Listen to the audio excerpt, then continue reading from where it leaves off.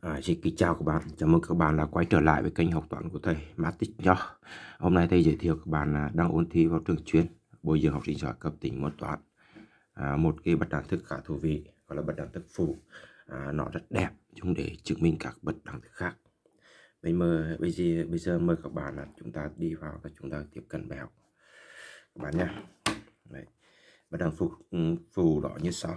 Với x y lớn không chứng minh 1 trên 1 cộng x tất cả bình phương cộng 1 trên 1 cộng y tất cả bình phương lớn bằng 1 trên 1 cộng x y. À, thầy à, là Nguyễn Văn Nho, giáo viên Nghệ An các bạn nhé. Giáo viên dạy toán ở Nghệ An. Đấy. À, bất đẳng thức này gọi là bất đẳng thức sao. À. Đấy. Thì chứng minh bất đẳng thực sao này có nhiều cách rất thú vị.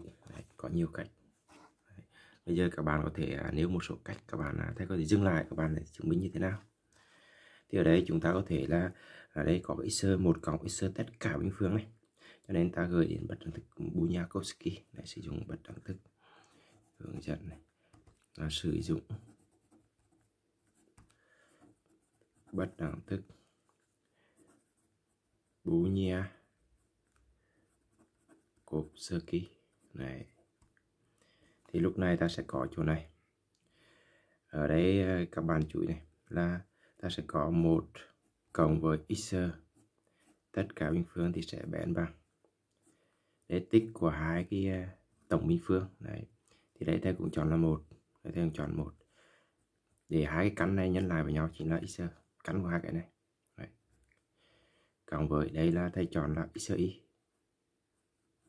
còn đây thầy sẽ chọn là y trên x đấy. À, x trên y. X trên y. Thì hai cái nhân lại với nhau là mất y cái căn của x bình phương là bằng x đúng rồi. Này các bạn nhé đấy. thì lúc này suy ra nghịch đảo một trên một cộng x toàn bộ bình phương. Đấy. thì sẽ lớn bằng một trên một cộng với x y. Nhân cho cái này sẽ là x cộng y trên y tức là y trên x cộng y Đấy. Bật đẳng thức 1 ok, nhá. Tương tự như vậy. Đánh giá vấn số thứ hai.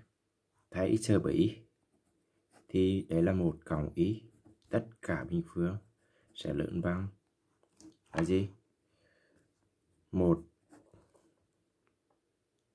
Một trên một cộng với x y nhân cho x đến x cộng cộng y.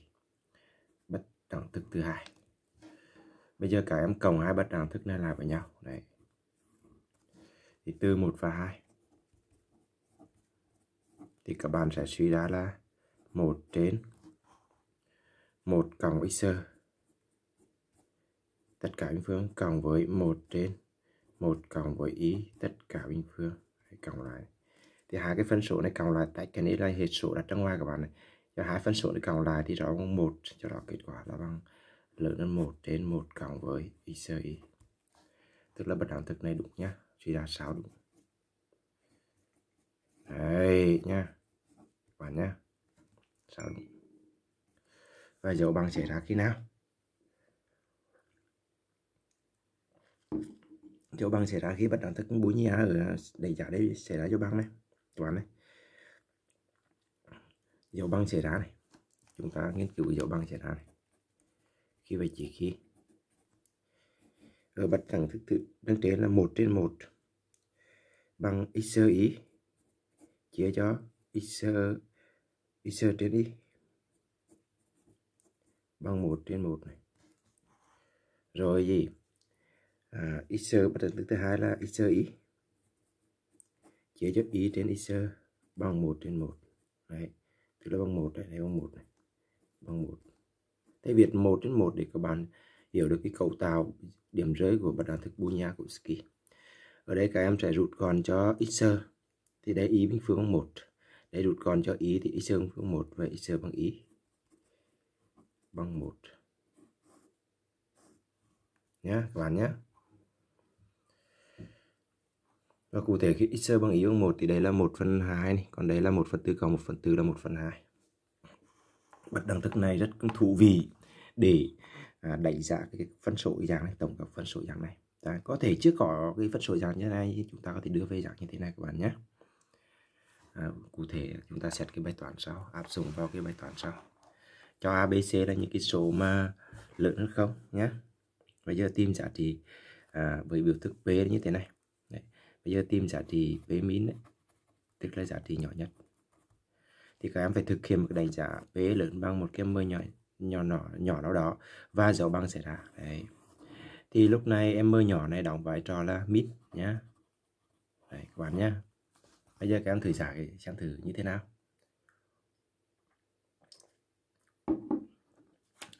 Thì đổi cái này ta thay đổi làm một chút, ta chia cái cho A, cái chia cho B, chia cho C thì ta sẽ có P sẽ bằng. Đây là một trên một cộng B trên A, toàn bộ bình phương, cộng với một cộng một cộng với C trên A, toàn bộ bình phương, cộng với một một cộng với A trên C, tất cả bình phương. Đấy.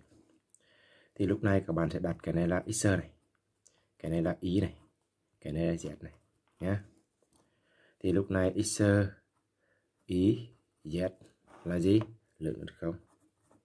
Còn x nhân y nhân z là bằng b trên a nhân với c trên a nhân với a trên c. Đấy a rút gọn c rút gọn. Đấy b trên a này. À, đây là b c trên b các bạn nhé. C trên b. Đây là a trên c. Vậy này b rút gọn này c rút gọn a rút gọn những kết quả bằng bằng một. Vậy thì à, như thế nào các bạn? Vậy thì cái p này trở thành này. Đưa về tìm cái p này một trên một cộng x tất cả bình phương. Đấy. Cộng với một trên một cộng với y tất cả bình phương. Cộng với một trên một cộng z tất cả bình phương. Này bây giờ x y z dưỡng rồi cho đó cái này ta áp dụng hai bất áp thức sao vào đây áp dụng sao vào đấy thì ta có cái đánh giá như thế này. Sao đấy thì cái này sẽ lớn 1 trên 1 cộng với xy cộng với 1 trên 1 cộng với z, tất cả bình phương. Đấy các bạn nhé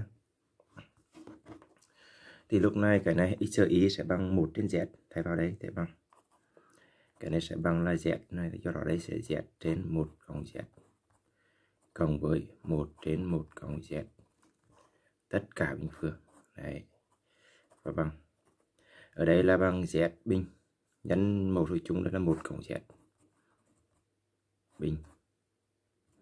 Đây z bình cộng z cộng một. Và ta dự đoán điểm rơi là z bằng một nhé thì cái này sẽ tương đương với là 3 phần tư lượng à, lượng 3 phần tư các bạn nhé ta cần chứng minh và đẳng thức này.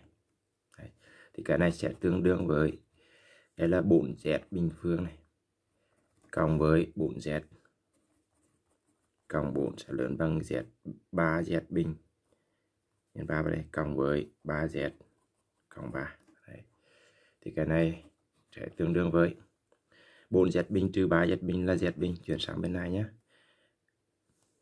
ở đây 6z các bạn nhé 3 nhân 2 3 nhân 2z là 6z trừ 2z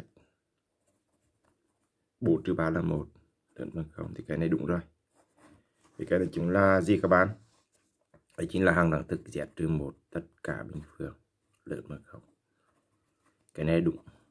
Vậy vậy chúng ta đã thực hiện được cái phép đánh giá là p lớn 3 phần tư. Và p bằng 3 phần tư. P bằng 3 phần tư khi nào?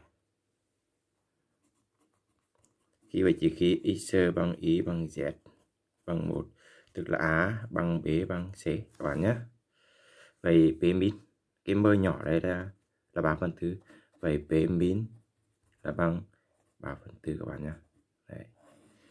đấy, cái bài toán này thì nếu các bạn mà không sử dụng cái bật đẳng thức phù đó thì sẽ không giải được bài toán này các bạn nhé đấy. Bài toán khá thú vị, các bạn có thể tham khảo. Đấy. Bài toán này có thể dùng để ôn thi vào trường chuyên. Đấy. Bồi dưỡng học sinh giỏi cấp tỉnh nhé thì à, vấn đề này thầy muốn nói với các em là dùng để làm gì?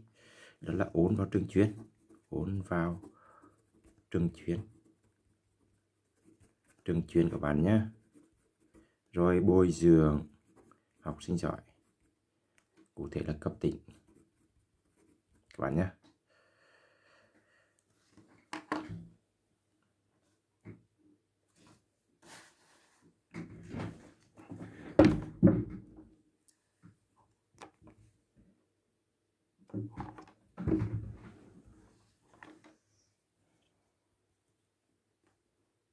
Cũng cảm ơn các bạn đã theo dõi cái bài giảng của thầy nhé. Chúc các em học tốt. Hẹn gặp lại các bạn trong cái dịp gần nhất.